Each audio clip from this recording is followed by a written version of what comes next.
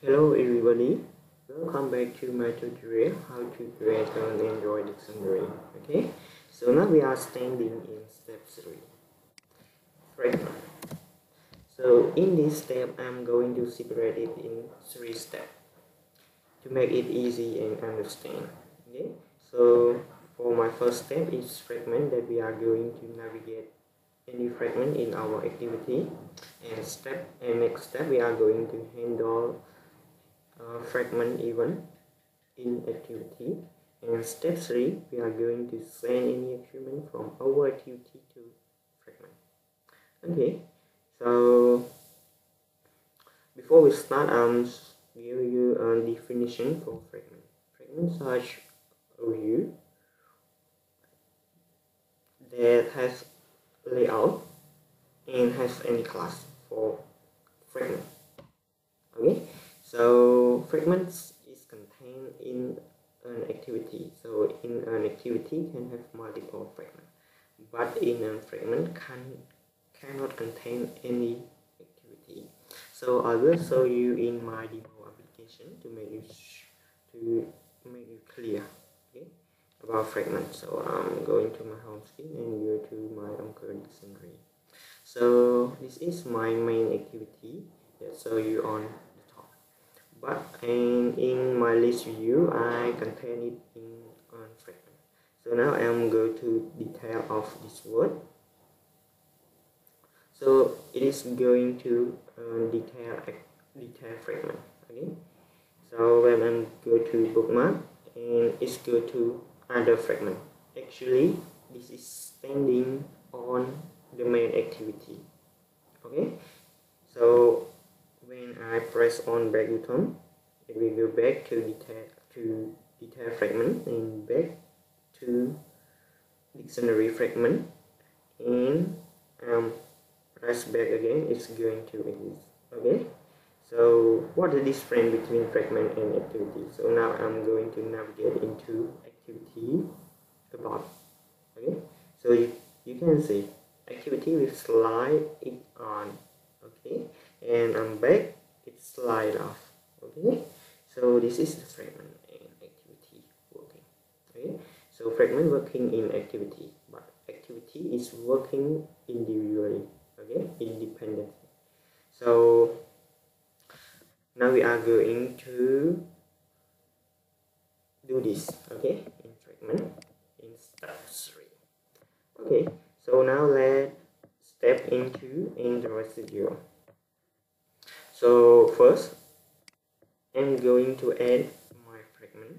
So um, I'm right click on my project new and define fragment and select on fragment blank so I'm going to set this name for dictionary fragment.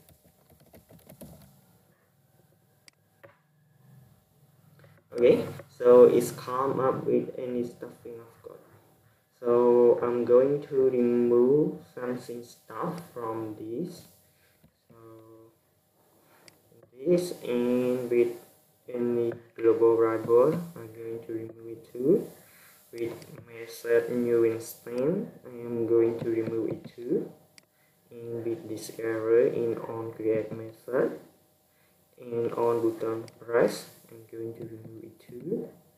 With this error method I remove it too this two and also this two. Okay? So now I got a dictionary fragment okay? So this is my dictionary fragment. Let's come up with a layout that's called fragment dictionary so I'm going to see this layout. So I just hold on key control and click. Okay?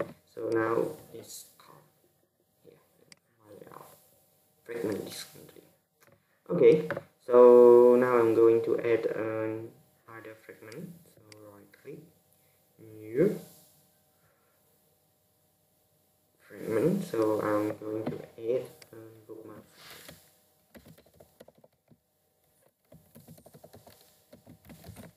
okay so I hit finish the other one with stuff in code okay, so I'm going to remove any stuff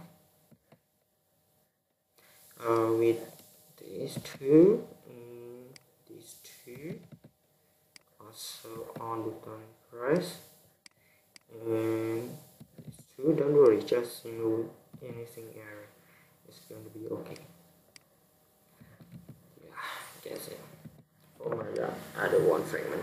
So now i'll make sure i'm going to identify the difference uh, between bookmark and dictionary. I'm going to set background my bookmark. So for this line of code it's not necessary so i'm going to remove it.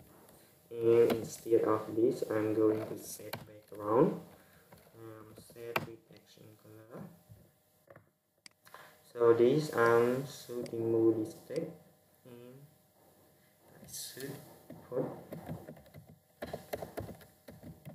bookmark okay so i'm going to set font size so let's set text size I set 20 sp so I'm going to align it in center. I should set gravity center. Okay so this is for my bookmark fragment. So I'm going to set the other one. Dictionary fragment so the same thing so for this layout it's not for this attribute it's not necessary. I'm going to remove it and instead of this I'm going to set background color okay so I'm going to set. I should call it from Android. Uh, okay. Should set it dark green okay. So this is for my frame. So now I'm going to navigate these two fragments into my before we start let's go to my browser. And when we start we just type Android fragment and choose this for Android document. Okay so you can find any uh, definition for fragment here. So you're going to read this for more detail about fragment. So I'm not too detailed about this. I'm going to find the code to navigate to activity so this is here so I just copy this.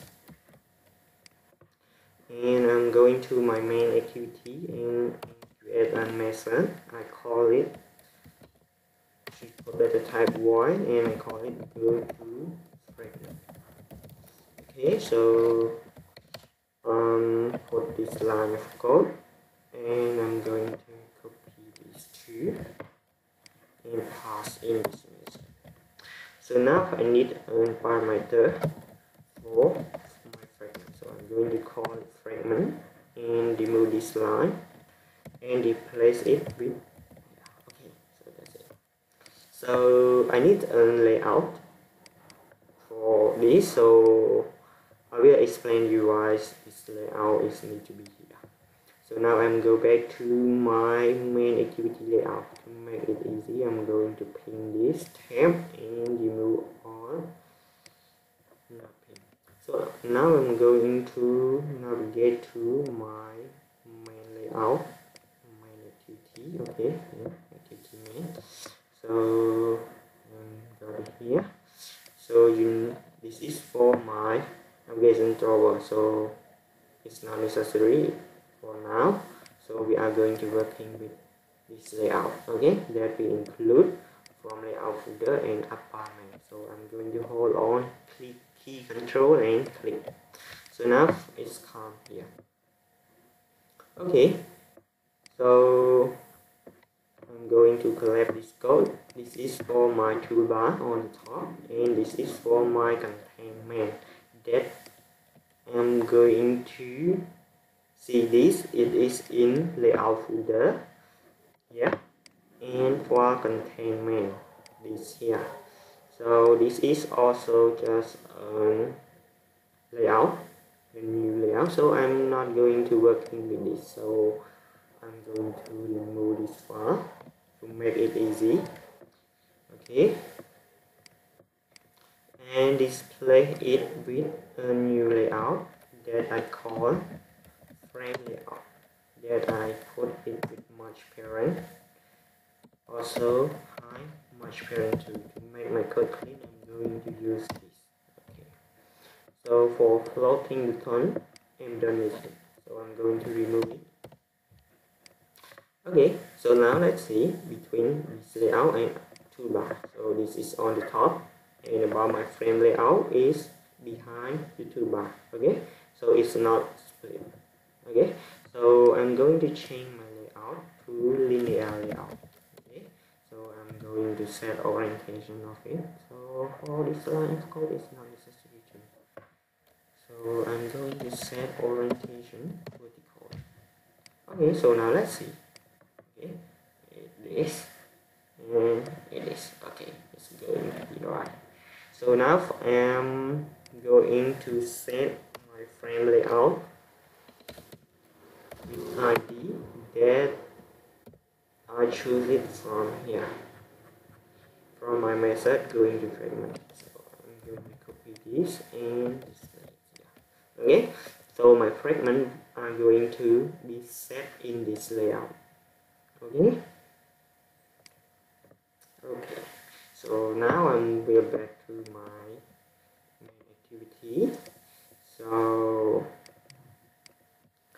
I need an under parameter so I'm going to open here. I call I call bool is top. Okay so it's top. I will make a condition is top. Not true. I'm going to make a fragment transaction. Add okay add to backstack okay so I'm going to put it now. So what does what is this line of code mean? So I'll be back to my demo app.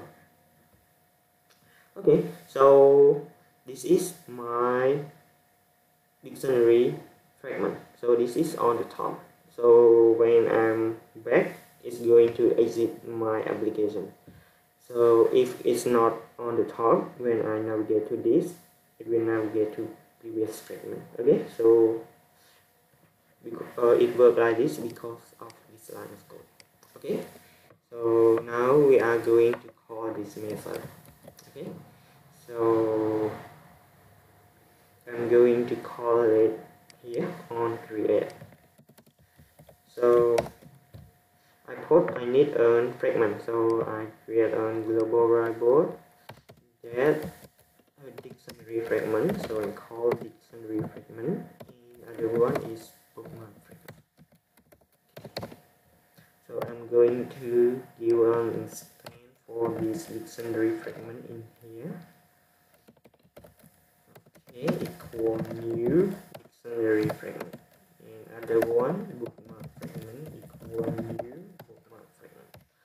now I'm going to put my dictionary fragment here because of this top. I'm going to put it through. Okay? So I need an other one when user click on navigation here. On navigation here bookmark here. So I'm going to on navigation item selected. Okay? So I'm going I'm going to work so I make a condition if id equal resource dot id dot new bookmark okay? So this id new bookmark is come from is come from menu here that's our id bookmark okay? So i'm going back and I'm going to call to go to fragment and this with bookmark fragment and I should put this top equal 4 okay? So now let's see something change on our application. So I'm going to run here.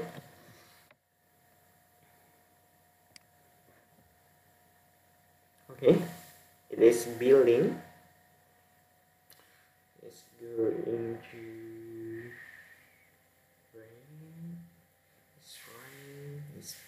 generator over. Okay it is installing launching okay it's come okay this is off why it's come with bookmark first let me check my code colon dictionary. Have I set um, layout with wrong? Oh, maybe I forget to change my tape. Yeah, I should put. So I'm going to reveal my results. So I just hit this button. It's going to reveal my results. But when you are making change on your class, you need to rerun. Okay. So now let's see. Yeah, it's come with dictionary fragment. So now I'm navigate to bookmark. Yes, it's come to bookmark fragment. I think it should have something wrong. Yeah, it now should add, it should replace. So I'm going to change this to replace. This may be the right one. I'm going to remove this. Mm, go in here. And I'm also going to remove this too. This should call replace. Okay, and move on. This there.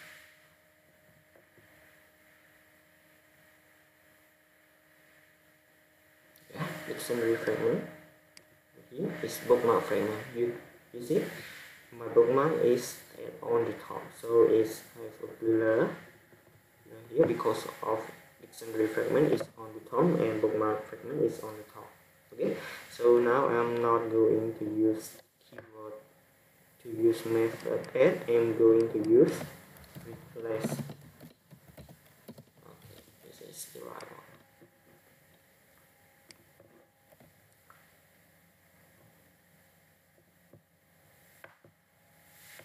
Okay, I got it. Okay, let's see. Okay, so that's it. When I hit on back button, yes, it's come to dictionary. I hit back. Okay, it is it. So this is for my show for this video. So thank you for watching.